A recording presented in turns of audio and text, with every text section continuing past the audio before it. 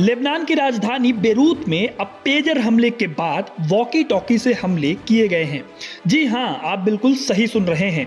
आपको बता दें कि ये पेजर हमले से भी ज़्यादा खतरनाक था जिसमें 20 लोगों के मौत की खबर सामने आई है और 3,250 लोग घायल बताए जा रहे हैं।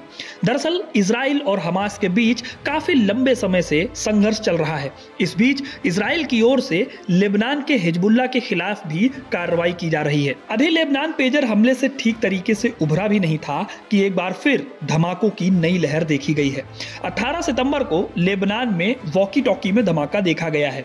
इन वॉकी टॉकी का इस्तेमाल मुख्य रूप से लेबनान के हिजबुल्ला सदस्यों की ओर से किया जाता है, जो आमतौर पर उनके हाथों में रहता है। वॉकी टॉकी हमला पेजर धमाके से भी बड़ा माना जा रहा है, क्योंकि इससे कई घरों और कारों को आग लगने की खबर आ रही है। नए विस्फोटों ने पूरे लेबनान में खौफ की नई लहर फैला दी है। हिजबुल्ला ने हमले के लिए इसराइल पर आरोप लगाया है।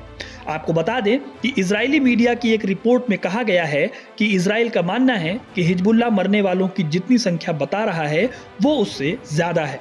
18 सितंबर को हिजबुल्ला की ओर से इस्तेमाल किए जाने वाले फ़ोन, सोलर पैनल और फिंगरप्रिंट डिवाइस में भी विस्फोट होते हुए देखा गया। 17 सितंबर को आपको बता दें कि पेजर विस्फोट हमले में 12 लोगों की मौत हो गई थी। इनके अंतिम संस्कार के दौरान एक और विस्फोट देखा गया। एक कार और दुकान में भी आग देखी गई, जिनके अंदर वॉकी टॉकी फटे थे। रिपोर्ट के मुताबिक, बेरूत के दक्षिणी उपनगरों में कई वॉकी टॉकी विस्फोट हुए हैं।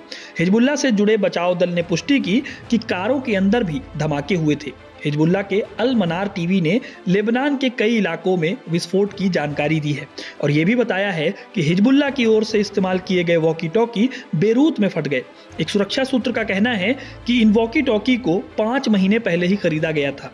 ये लगभग वही समय था जिस समय पेजर भी खरीदे गए थे, जिनमें हाल ही में अभी विस्फोट हुआ है। दरअसल जिन वॉकी टॉकी में धमाके हुए हैं, उस पर I C O M V eighty two लिखा है, जो कि जापान में बनती है। इसे बनाने वाली कंपनी आईकॉम इंक ने कहा है कि वो इस दावे की जाँच कर रहे हैं। हालाँकि इस वॉकी टॉकी को लगभग एक दशक पहले, यानी 2014 में ही बनाना बंद कर दिया गया था, जिसमें अलग से बैटरियों की ज़रूरत होती है। तो दोस्तों, ये थी वॉकी टॉकी में होने वाले धमाकों की खबर। ऐसे ही और खबरों से जुड़े रहने के लिए न्यूज़ कनेक्ट को सब्सक्राइब ज़रूर करें। धन्यवाद। देश दुनिया की हर बड़ी खबर देखिए, हर घंटे नई खबर के साथ। सिर्फ़ आपके अपने चैनल न्यूज़ कनेक्ट पर। न्यूज़ कनेक्ट यानी खबरों से आपका कनेक्ट न्यूज़ कनेक्ट को लाइक करें और सब्सक्राइब करें, ताकि आप रहें हर वक्त, हर खबर से अपडेटेड